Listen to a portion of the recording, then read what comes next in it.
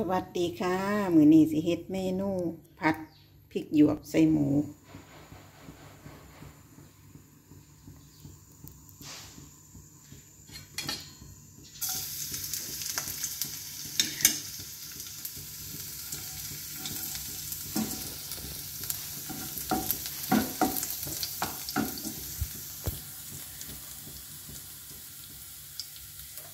เตาแก๊สบ่หูเกิดอยังขึ้นพุบพับพุบพับพุบพับ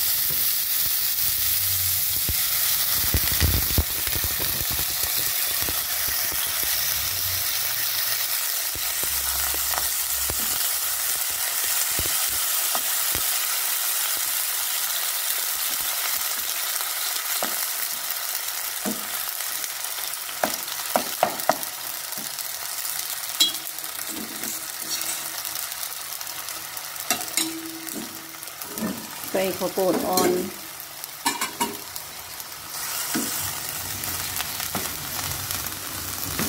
ล่อให้หมูสุกบ่ได้ค่ะเพราะว่าถ้าล่อหมูสุกมันสิแข็ง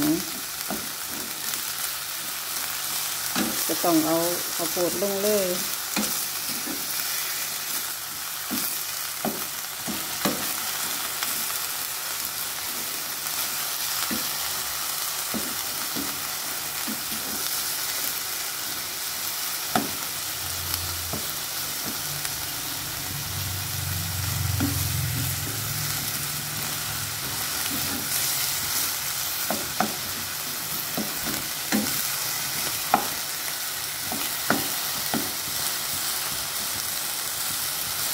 หมูถ้าพัดดนแล้วมันสิแข็ง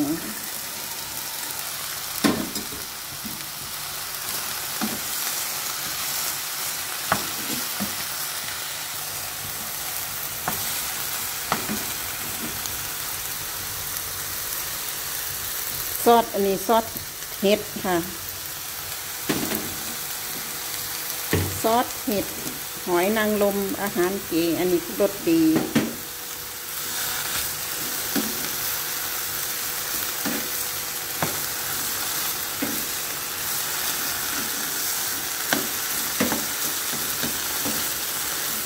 พริกหยวก ใส่หมูสับ กินพริก กินเป็นผักเยอะๆ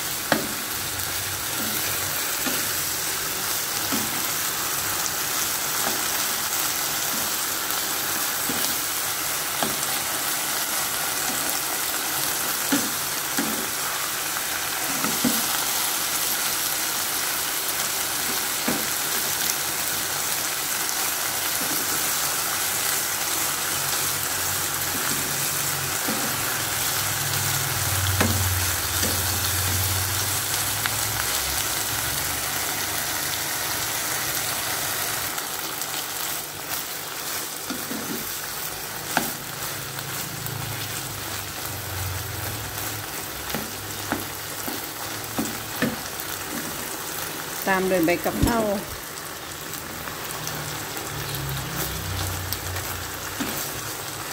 ก็เป็นผัดกะเพราเลยค่ะผัดผัดพริกหยวกแต่ว่าเอาใบกะเพราใส่ให้มันหอมซื้อพริกหยวกอันนี้มันบ่เผ็ดนะคะบ่มีรสเผ็ดเลย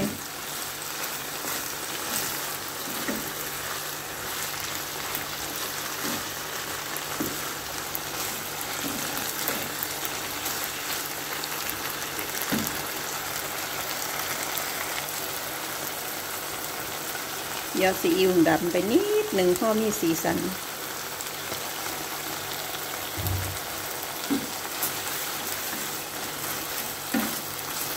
มาสันสีสีสีใส่เข้าไปพ่อมีสีสันนิดหนึ่ง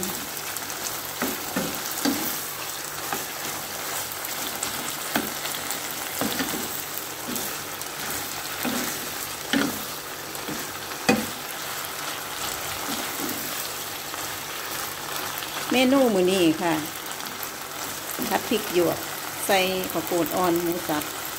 ใบกะเพราใส่พ่อยมันมีหอมกินหอม อันนี้เป็นแหนมค่ะ แหนมทอดเนี่ยไอ้บ่เป็นแหนมสมสมเฮ็ดเฮ็ดนั่งฝ่าเนี่ยค่ะสมเฮ็ดนั่งฝ่า เอามาถอดมันเป็นแล้วก็เลยเอามาถอดมันก็สิออกเปรี้ยวๆ แซ่บๆนะคะมันสิออกเปรี้ยวๆนิดนึงคือกันกับสมปลาเฮ้านี่แหละแต่อันนี้มันเป็นสมสมเฮ็ดนั่งฝ่า